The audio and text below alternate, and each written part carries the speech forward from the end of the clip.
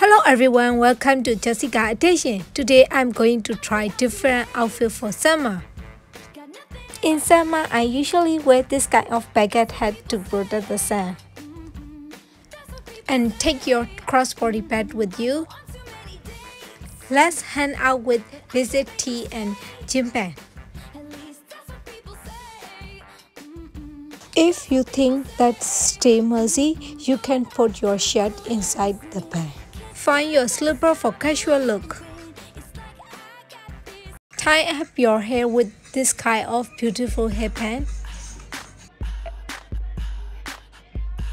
What you gonna do with all that junk, all that junk inside your trunk? I'ma get, get, get, get you drunk, get you love drunk off my hump, my hump, my hump. Try to wear your cotton pants and cotton lace top together. Check it out. I drop these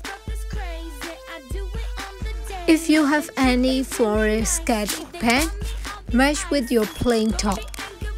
This look can give you a fresh look.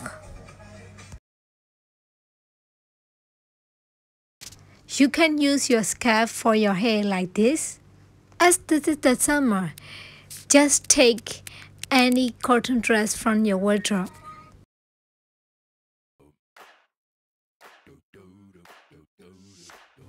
You cannot deny that floral dresses are essential for summer.